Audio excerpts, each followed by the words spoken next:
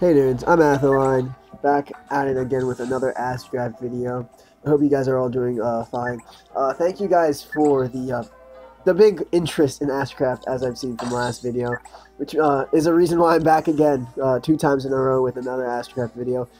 Um, today I will be reviewing, actually was an idea from someone else, I will be reviewing all the new modules that they added to Astrap as of right now However, this could change in two days as the season's about to change, and I'm waiting for it to. But um, yeah, today we're gonna do all the new modules. Most of them not being like actual modules modules, but most of them being building modules, and they bring something really new and fun to the game.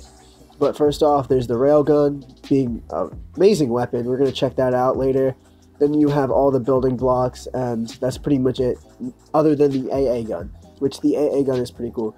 However, they have like all the other normal modules to buy, and which is still a lot. I'm pretty sure that they're still adding As uh, we'll see from the new season. We'll see from the new season.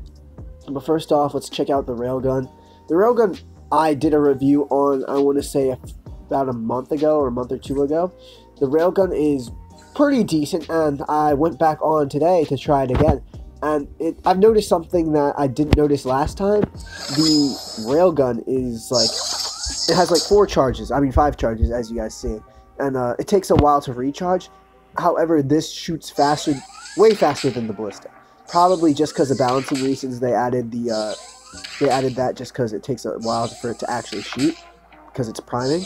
But another thing I noticed is that the laser actually cuts through the shield, which is absolutely amazing because now that pretty much took out the counter to ballistas, which was just shields.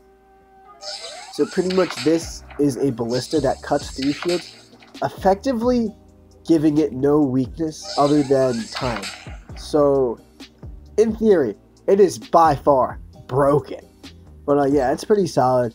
And then we're to check out the new building modules. I personally like the new building modules. They all seem really nifty.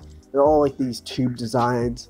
And they connect, so there's pretty much two versions of them. There's this tube, which is pretty much just flat on the side and then the second version, which has like the uh, little square thing.